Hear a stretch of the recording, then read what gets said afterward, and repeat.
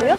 땔감 하러 갑니다. 땔감은 바로 겨울 바닷바람 가득한 부산 기장의 소나무 그중 땔감 제목은 진하고 푸른 향 나는 솔잎 솔레음과 이 산내음, 산의 풀 그런 냄새가 나요. 온몸으로 해풍 맞은 솔잎은 더욱 진한 향기를 풍기고 기똥차게 맛있는 걸 구우려고 가지고 갑니다. 뒷산에서 내려온 땔감을 이제나 저제나 서방님 오시듯 오매불만 기다린 주인공은 뭐, 뭐, 뭐고 이거?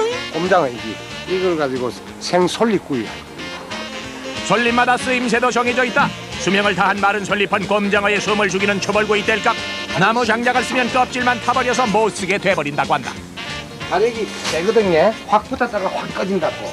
생솔잎으로 아래 위로 곰장어를 감싸주고 다시 마른 솔잎으로 구워주면 솔잎의 진액과 마른 솔잎의 연기가 곰장어에 스며들면서 소나무 특유의 앙쌀 향이 속살에 싹 비린내를 잡아준다 솔잎 향이 되기 때문에 맛이 틀립니다. 솔잎으로 구운 솔 곰장어 대령이요 까맣게 그린 곰장어 껍질을 벗겨내면 뽀얀 속살이 대범이 드러나고 양식이 불가능해 어디 가서 먹어도 자연산 에너지 가득한 이 맛은 어찌 거부할 수 있겠는가 솔잎으로 구웠을 뿐인데 그 맛이 기가 막혀 아 채요 좀 천천히 드셔 응? 솔향도 살 나는 게 너무 죽입니다. 남자는 내가 먹어야. 야, 야. 꼬리치는 힘이 유난히 좋다는 곰장어 꼬리 쟁탈전 어김없이 이어지고 꼬들꼬들 탄력 있는 장어 꼬리는 남녀노소 불문하고 인기